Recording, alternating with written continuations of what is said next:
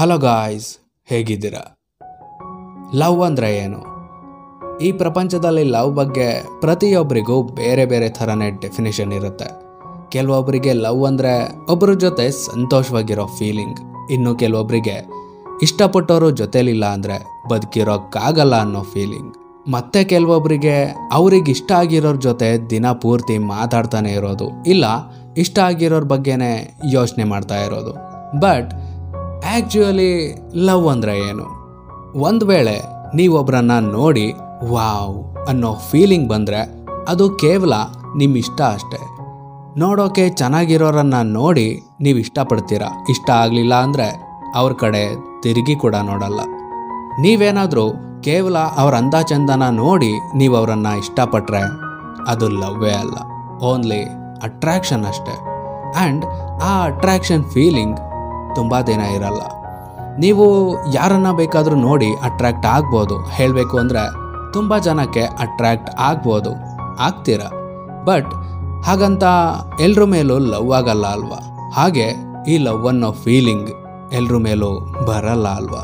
ಒಬ್ಬರಿಗೆ ಫೋರ್ಸ್ ಮಾಡಿ ಅವರನ್ನ ಪಡ್ಕೋಬೇಕು ಅಂದ್ಕೊಳ್ಳೋದು ಅಕ್ಸೆಪ್ಟ್ ಮಾಡು ಅಂತ ರಿಕ್ವೆಸ್ಟ್ ಮಾಡ್ಕೊಳ್ಳೋದು ಕೂಡ ಲವ್ವೇ ಅಲ್ಲ. ಇಲ್ಲಿ ಕೇವಲ ನಿಮ್ಮ ಬಗ್ಗೆ ಮಾತ್ರ ಯೋಚನೆ ಮಾಡ್ತಿದ್ದೀರಾ? ಹೌದಾ ಇಲ್ವಾ?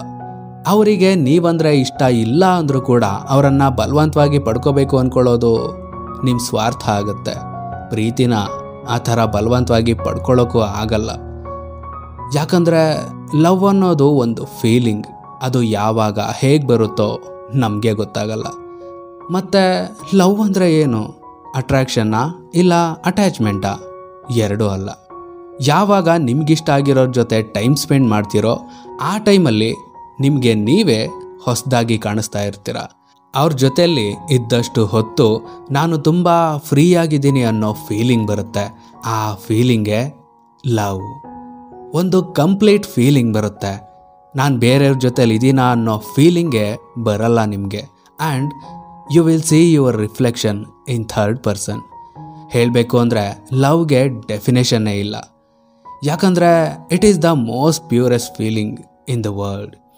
ಯಾವಾಗ ಎಲ್ರಿಗಿಂತ ಮೊದಲು ನಿಮ್ಮನ್ನು ನೀವಿಷ್ಟಪಡ್ತೀರೋ ಅದೇ real love because self love is the best love ಹೌದು ತಾನೆ. ಯಾವಾಗ ಒಬ್ಬರು ಜೊತೆಲಿದ್ದಾಗ ಅವರಲ್ಲಿ ನಿಮ್ಮನ್ನು ನೋಡ್ತಿರೋ ಆ್ಯಕ್ಚುಯಲಿ ಲವ್ ಅಂದರೆ ಅದೇ. ನೀವು ಬೇರೆ ಯಾರ ಜೊತೆನೋ ಇದ್ದೀನಿ ಅನ್ನೋ ಫೀಲಿಂಗೇ ಬರಲ್ಲ ನಿಮಗೆ. ಅವ್ರ ಜೊತೆಲಿದ್ದಾಗ ಆ ಥರ ಇರಬೇಕು, ಈ ಥರ ಇರಬೇಕು ಅಂತ ಅಂದ್ಕೊಳ್ಳಲ್ಲ ನೀವು. ತುಂಬ ಫ್ರೀಯಾಗಿರ್ತೀರ ಅವ್ರ ಜೊತೆಲಿ. ಲವ್ ಅಂದರೆ ಅವರು ನಮ್ಮ ಜೊತೆನೇ ಇರಬೇಕು ಅಂದ್ಕೊಳ್ಳೋದಲ್ಲ ಅವರು ಎಲ್ಲೇ ಇದ್ದರು ಹೇಗೆ ಇದ್ದರು ಹ್ಯಾಪಿಯಾಗಿರಲಿ ಅಂತ ಬಯಸೋದು. ಅವರು ನಮ್ಮ ಜೊತೇಲಿ ಇರ್ತಾರಾ, ಇರಲ್ವಾ ಅನ್ನೋದು ನಮ್ಮ ಹಣೆ ಬರಹದ ಮೇಲೆ ಡಿಪೆಂಡ್ ಆಗಿರುತ್ತೆ.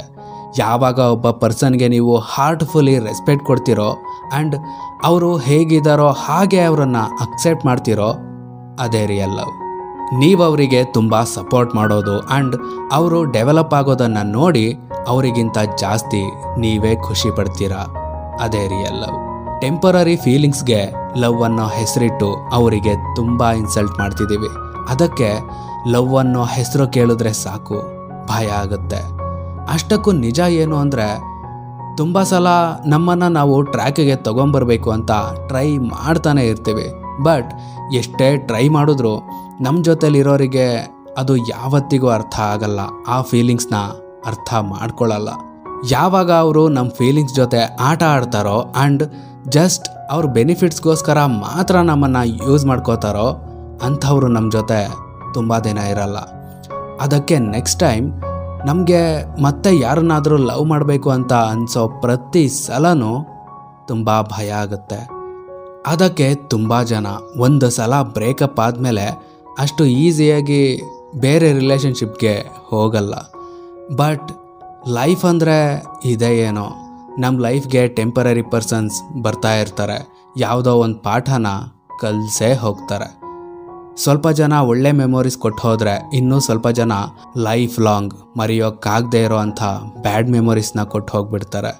ಇಲ್ಲಿ ನಾವು ಅಬ್ಸರ್ವ್ ಮಾಡಬೇಕಾಗಿರೋದೇನೆಂದರೆ ನೀವು ನಿಮ್ಮ ದಾರಿನ ಬೇರೆ ಯಾರಿಗೋಸ್ಕರನೋ ಚೇಂಜ್ ಮಾಡ್ಕೋಬಾರ್ದು. ನಿಮ್ಮ ಡ್ರೀಮ್ಸ್ ಮೇಲೆ ಫೋಕಸ್ ಮಾಡಬೇಕು. ಹಾಗೆ ನಿಮ್ಮ ಆಸೆಗಳನ್ನು ಫುಲ್ಫಿಲ್ ಮಾಡ್ಕೋಬೇಕು. ಆ್ಯಂಡ್ ಮೋಸ್ಟ್ ಇಂಪಾರ್ಟೆಂಟ್ ನಿಮ್ಮ ಗೋಲ್ನ ಅಚೀವ್ ಮಾಡಬೇಕು. ಪರ್ಸನ್ಸ್ನ ಟೆಸ್ಟ್ ಮಾಡೋದನ್ನು ಕಲಿಬೇಕು. ಆ್ಯಂಡ್ ಅವ್ರ ಮಾತಲ್ಲಿರೋ ಮೀನಿಂಗ್ನ ಡೀಪಾಗಿ ಅರ್ಥ ಮಾಡ್ಕೊಳ್ಳೋದನ್ನು ಕಲಿಬೇಕು. ಪ್ರೆಸೆಂಟ್ಲಿ ನೀವು ನಿಮ್ಮ ಪಾರ್ಟ್ನರ್ ಜೊತೆಲೇ ಇರ್ಬೋದು. ಇಲ್ಲ, ಅವರಿಗೋಸ್ಕರ ಇನ್ನೂ ಸಿಂಗಲ್ ಆಗೇ ವೆಯ್ಟ್ ಮಾಡ್ತಾ ಇರ್ಬೋದು.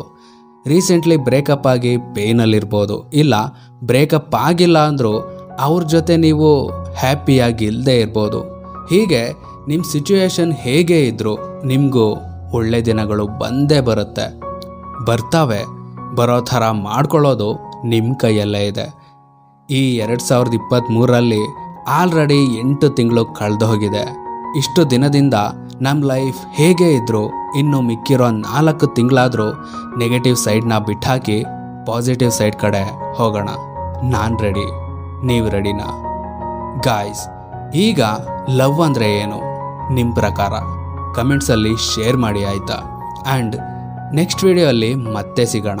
ಅಲ್ಲಿವರೆಗೂ, ಟೇಕ್ ಕೇರ್.